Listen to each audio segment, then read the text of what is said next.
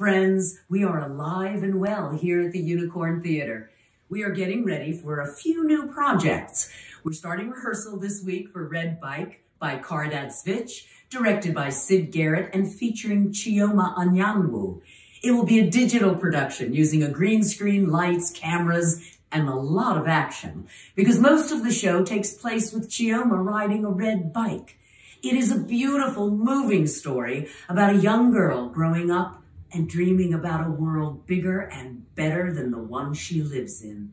It is going to be unlike anything you have seen before, and we are so excited to be able to bring it to you.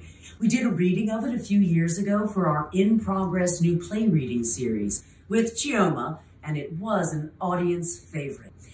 This will be streaming for all to see from February 3rd through the 21st. As always, season ticket holders can call in to the box office for their secret password, and everyone else can get tickets through our website, unicorntheatre.org. Coming up on Sunday, February 21st, we will be doing a live streaming reading of the first draft of a new play we commissioned by Natalie and Talia Licardello. This is in honor of Moliere's 400th birthday next year, when we plan to actually do the full production. And in unicorn style, it is a contemporary comedy in the style of Moliere.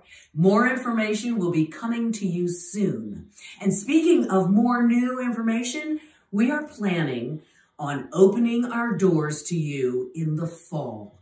Information about our new season for 21-22 Yikes. Will be coming to you soon. Until then, we will continue to produce digitally. I hope you are well, keeping busy and getting plenty of sunshine. I miss you all, and I can't wait until I see you again in the lobby. Take care.